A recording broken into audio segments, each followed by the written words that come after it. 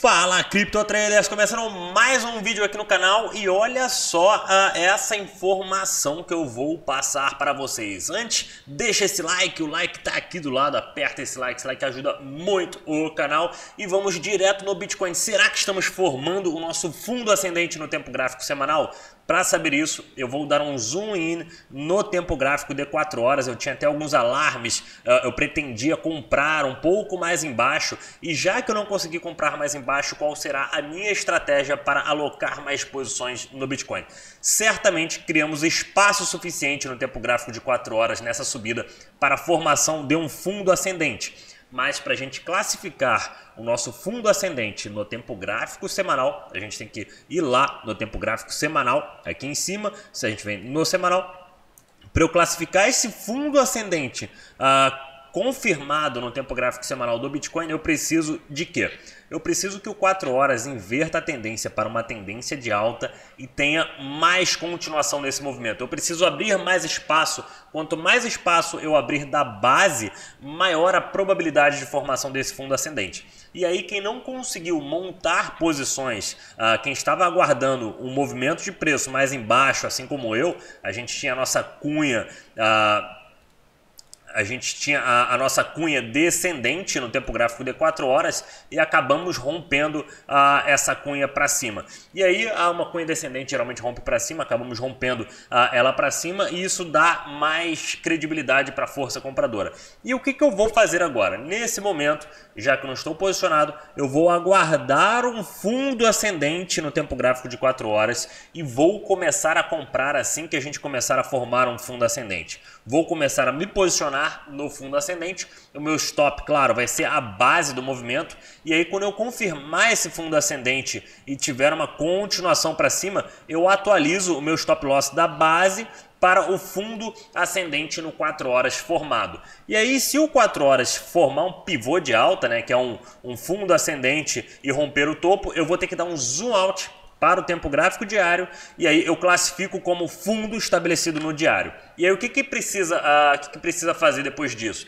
Depois disso, o diário deve ter uma continuação, ele vai formar um topo descendente, com certeza em algum lugar contra o topo anterior, e aí ele vai precisar também de um fundo ascendente e um pivô de alta para classificar de fato o nosso fundo ascendente no tempo gráfico semanal. Então, os touros mais agressivos, os touros que estão querendo mais assíduos a comprar, eles vão comprar no fundo ascendente do 4 horas nesse movimento de baixa, uh, ou se o preço tiver uma continuação para cima, no movimento de baixa para a formação de um fundo ascendente. Os touros mais conservadores, e para quem não sabe, touros é a força compradora, quem está querendo comprar, os touros mais conservadores, eles vão aguardar um fundo ascendente no tempo gráfico diário. Isso pode levar um, dois, três dias, enfim. Uh, eles vão aguardar um fundo ascendente no tempo gráfico diário para se posicionar e ter mais certeza de que uh, a gente não vai inverter para baixo de uma vez só. E olha só que legal, DXY é a força do dólar contra as outras moedas.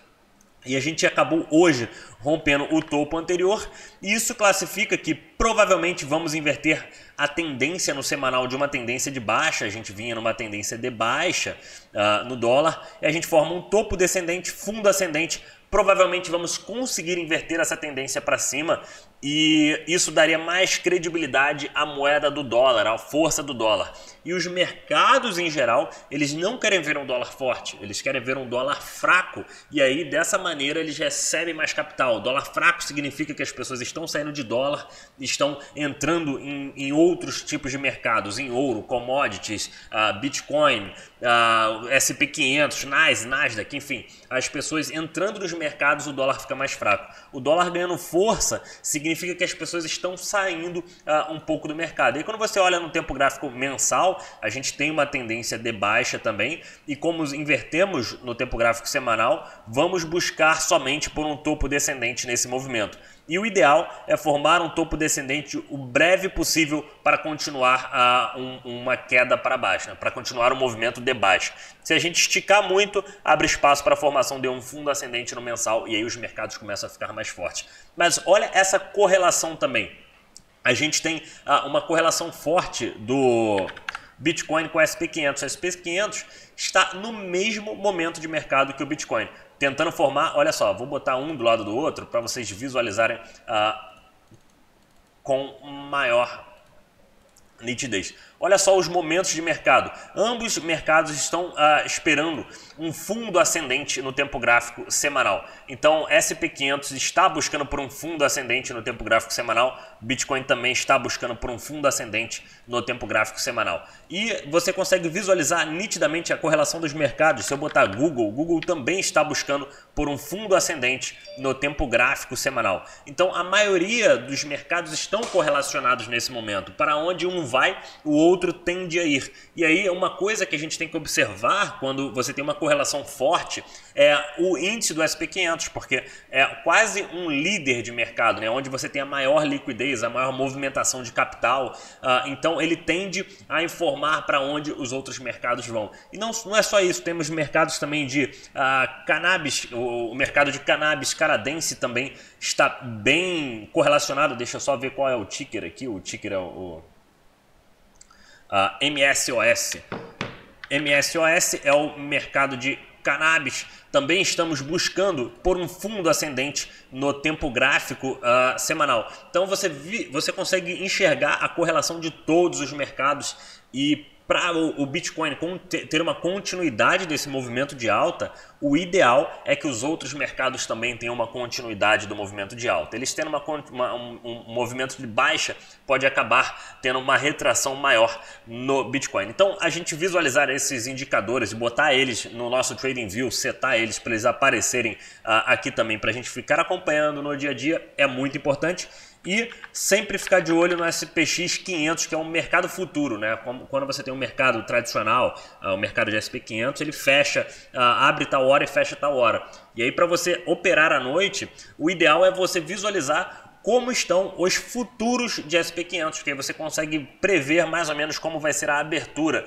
E aí, olhando nos tempos gráficos menores, você tem lá um horário de abertura e um horário de fechamento, acho que é de 7 uh, da noite até aproximadamente 10 horas da manhã, é onde o mercado tradicional não está aberto, e aí você visualiza uh, como vai ficar os futuros. E aí você consegue ter uma noção muito maior de mercado. Então, Bitcoin nesse momento, uh, exatamente aquilo que a gente falou, Ethereum tendo um pouco mais de continuidade, porque o ETH BTC está tendo um repique de da, do movimento de baixa também.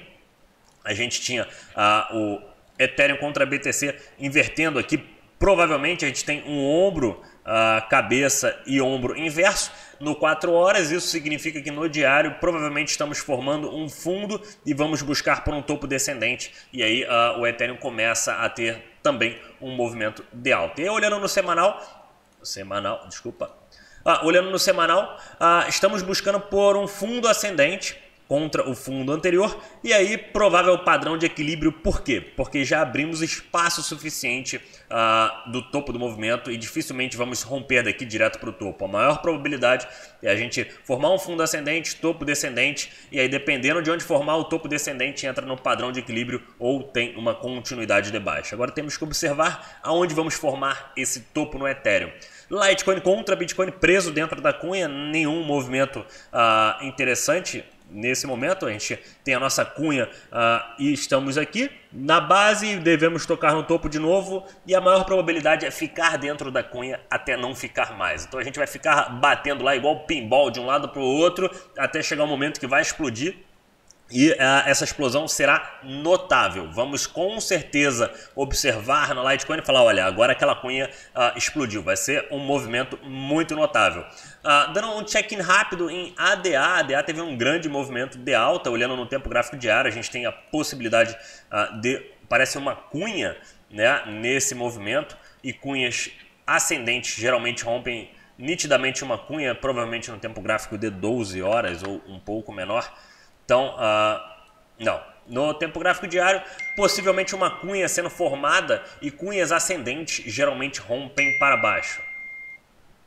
Cunhas ascendentes geralmente rompem para baixo. Temos que ficar de olho no momento do rompimento para baixo. Vamos dar um zoom out para o tempo gráfico semanal e buscar por um fundo ascendente de olho na possibilidade de um inside bars. Outras moedas que a gente falou, o Dodge. Uh, Dodge tentando buscar por um fundo ascendente no tempo gráfico semanal e aí precisamos inverter a mesma coisa que o Bitcoin precisa. Uh, precisa inverter primeiro no 4 horas, depois precisa inverter no diário para classificar uh, se, se, se, inverter desse ponto aqui, né, para classificar como um fundo ascendente no tempo gráfico uh, semanal. Outras moedas como o Link, dando um check-in rápido nelas aqui, só um inside bars aqui no DOT, muito interessante inside bars rolando, quando você tem um corpo de uma vela dentro do corpo da vela anterior e maior probabilidade é essa vela ficar até no domingo dentro da base e do topo da vela anterior. Um rompimento será notável, rompendo para baixo, buscamos por um fundo ascendente contra a meia 0,84, qualquer coisa acima disso é um fundo ascendente. Rompendo para cima, com certeza veremos novo topo histórico em DOT. Ah, foi hoje foi uma análise muito rápida. Deixe o seu like aí, comente também no vídeo e se inscreva no canal. Vamos, vamos nessa. Muito obrigado e até a próxima.